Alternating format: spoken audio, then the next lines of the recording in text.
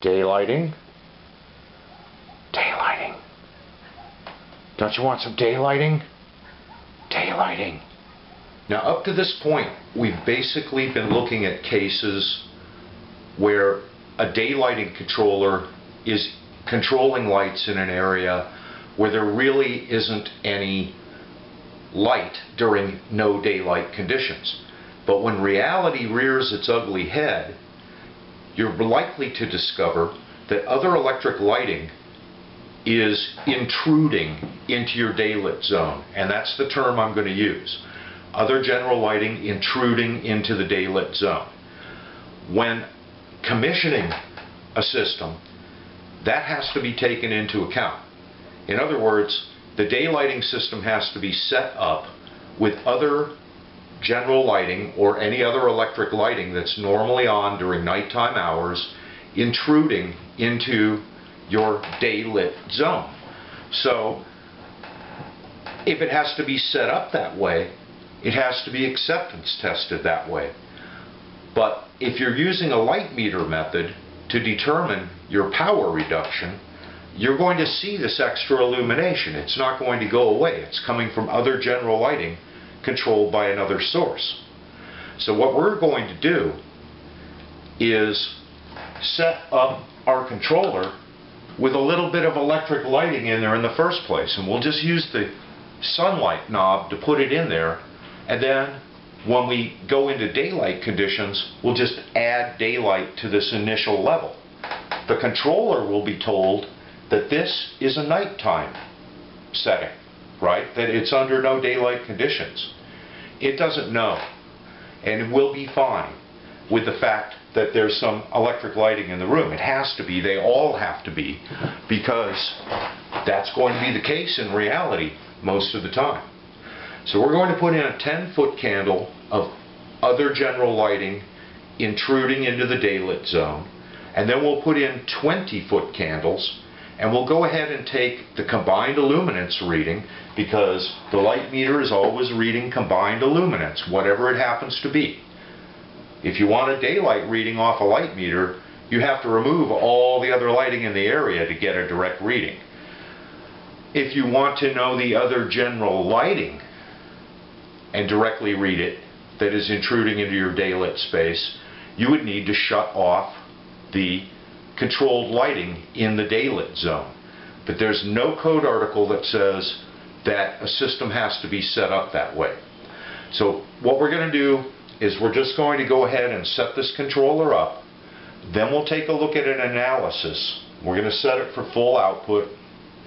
And we'll take a look at an analysis of the combined illumination. And we're going to see our problem when it comes to determining the power reduction, estimating the power reduction based on illumination reduction.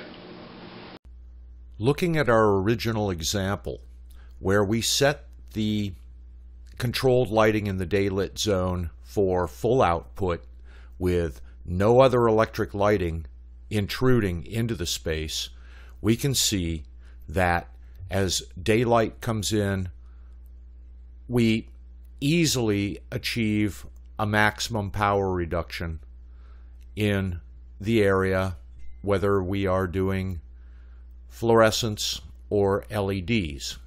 So the situation looks like this. Um, if we were to calibrate this daylighting system, and by the way, as a reminder, this is daylight coming in, and this is illumination in the area. This is the combined illumination of daylight and electric, and this is electric, which is the combined with the daylight subtracted out of it, right? And this is the line we're really interested in because this illumination reduction is what we're going to base our power reduction on. Now we can see that if we were to have calibrated the system in this manner, when we bring in our other electric illumination, we're going to see of 10 foot candles, that's what we're going to inject first, uh, we'll see that the lights will have reacted immediately and decreased by almost 25% the electric illumination. And so we don't want that. So we would have to set this system up with any intruding other general lighting present when we're setting up the closed loop system. And so now our situation looks like this. In the last example, our 42 foot candle reference illuminance was the design illuminance. And it's interesting that we have these two terms because design illuminance is not defined under the code and reference illuminance is probably not properly defined under the code. But for the purposes of our discussion, the design illuminance is the reference illuminance in a daylit zone under automatic control plus any intruding electric lighting in the area. And we can see here now that when we look at what's happening in the area, we're now starting out at 52 foot candles versus 42 because we have an extra 10 foot candles of electric lighting intruding into the area. And that's going to be need to be there when you set up the controller for closed loop control. So this brings us to what do we do about our partial setting? What do we base it on? Well, we can no longer base it on the 42 foot candle reference illuminance. We have to base it on the 52 foot candle design illuminance. So that's what we've done. We would set a partial point slightly above the design illuminance. Now, in this case, with only 10 foot candles intruding in the area, and you can see it right here as the electric lighting goes down to full dimmed down, there's 10 foot candles and whatever small amount of illumination the luminaires are still putting out. So if we are going to be doing our illumination reduction analysis from design illumination, we can see it's not going to show us as big a decrease as it did with the original situation where we see it going from 42 down to 2 and some change. And here, where we're seeing it going from 52 down to 12 and some change, that's not going to yield as big of a illumination reduction as is actually occurring in the controlled lighting in the daylit area. So now, when we look at our illumination reduction and our estimated power reduction, you'll see that our estimated power reduction for fluorescent and LED, well, for fluorescent, it's just getting over the mark because we started our analysis at 52 instead of 42, which is what the controlled lighting is actually putting out. So now let's look at a case where our design illuminance and our reference illuminance differ by 20 foot candles of intruding electric lighting. Okay? So now we'll see that under true no daylight conditions, with the other 20 foot candles intruding from the electric lighting, we're going to be sitting around 61, 62. And as we bring extra daylight into the space, we'll be seeing an immediate reduction in the electric lighting as we would expect and our partial will now have to be based on this higher design illumination.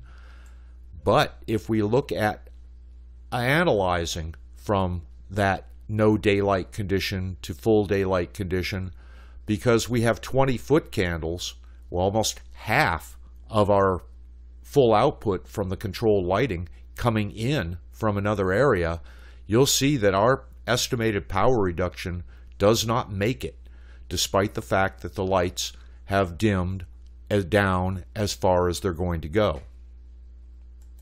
So in order to get a proper estimation of power reduction by estimating or calculating, because this is the combined illumination minus the daylight that gives you the electric, in order for this line of illumination reduction from the controlled luminaires in the daylit zone, to be meaningful for us, we will have to subtract out the amount of offset that we see at the beginning of our graph because of the 20 foot candles intruding. So we have an analysis problem here that necessitates us knowing what the intruding lighting is. And we will cover this down the line because this is very confusing. You might be in a situation, and this is probably more often than not, where when you energize the lighting in an area and it contains daylit zones, uh, you can't separately energize them to try and determine how much of this intruding electric lighting there is. And so that's a big, big problem for your analysis. So we have an analysis problem when we're looking at what I call design illumination. This term appears in the code and it appears on the acceptance testing form. And if you look at the acceptance testing form for daylighting continuous dimming, you'll note that there's two slots, one for design illuminance and one for reference illuminance. So this tells us that under certain circumstances, these could be different values. Design illuminance, as far as I'm concerned, and for the purpose of our discussion, is your no daylight illuminance in a daylit zone when you have other general lighting intruding into it. This gives us an analysis problem. but if we know what that value is and subtract it off of our readings, we see something very interesting in the response of the electric lighting that's under closed loop daylight control. Now, I mentioned that we're going to see something interesting during this section. And here's the thing suppose I want to put in a really swanky daylighting system. I don't want the electric lighting, let's say, to immediately begin reducing as daylight comes into the area. Suppose I just want the combined illumination to rise up to a point and then take it across.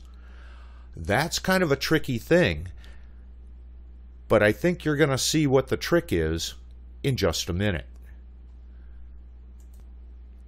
So starting with our 10 foot candle lighting intrusion example, what do I need to do to get my analysis of this lighting correct?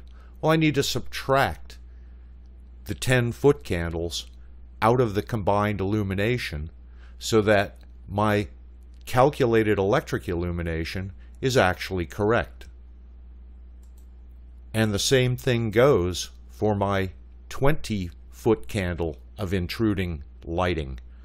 Let's take a look at these graphs because this is pretty interesting. So here is the one for the 10, uh, for the 20 foot candle intrusion. All right. When we subtract 20 foot candles off of the combined lighting, combined illumination, uh, we see that we are going to reduce from 42 to 2 and some change. And that is, in fact, what we're looking for for our analysis. We also have the case of the 10 foot candle offset. And if we subtract the 10 foot candles that we know are intruding into the area from other general lighting, we once again see a line coming down from our reference illuminance that's just produced by the lighting controlled in the daylit zone. But here's the interesting point. If I actually take the daylight or other general lighting illuminance and take it below that offset level where we calibrated it, you can see that the controller is not going to initially respond to this 10 foot candles. Okay, so 10 foot candles of daylight would come in here in a system that is at a reference and design of 42 when it's calibrated for 52. And the way you can do that is simply insert the 10 foot candles, do your nighttime calibration, take the 10 foot candles away, and you're going to get this response which makes for a very nice system because 10 foot candles has to come into the area before the electric lighting even begins to respond.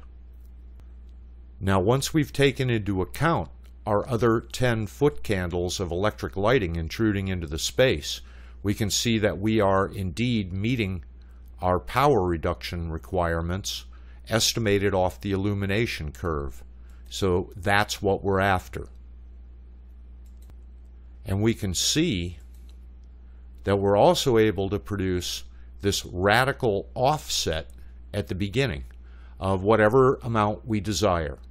Nonetheless, taking into account that offset, taking into account the intruding lighting, we can indeed still get our required illumination reduction even at 20, per, 20 foot candles, almost 50% of the light coming into the space being from other general lighting. So you're thinking, remind me again why we have to set up a closed loop uh, daylighting system with the other general lighting uh, intrusion there? Remember from our graphs that this controller is going to seek a set point. It doesn't know the difference between 20 foot candles of electric and 20 foot candles of daylight. So if you don't set the thing up properly, you're going to get a condition where under true no daylight conditions, 3 in the morning, somebody might walk into the area and notice that the lighting by the windows or the skylight has dimmed down. It, it, they can look at the luminaires and see that they're not as bright as the rest of them. That's not good. Uh, in other circumstances, you might have the lighting take a dive when uh, daylighting first uh, daylight first starts to enter the area, uh, such as a, a primary or secondary side lit, and that would be readily apparent to the room occupants. You don't want that. So what we've seen is that by offsetting the bottom of our response, we can have a closed loop daylighting controller that basically does nothing initially when daylight comes in and then begins to respond. So this is a pretty major trick. And remember, we fooled one of the simplest controllers in the world. A more advanced controller might actually have settings in software for the initial daylight response point, and then a setting for either a partial point or simply the angle of response, if you will, of the combined illumination in the room, which means how fast the electric lighting is taking a dive. So in a more sophisticated modern controller, in a lot of cases, you should be able to just enter these things right in and not fool the system like this. But then again, this should always work. And re remember, acceptance testing done with other general lighting on in a closed loop system. Open loop, all kinds of tricks you can play. Closed loop, that controller's looking for its set point, and it's going to keep driving the controlled lighting until it finds it.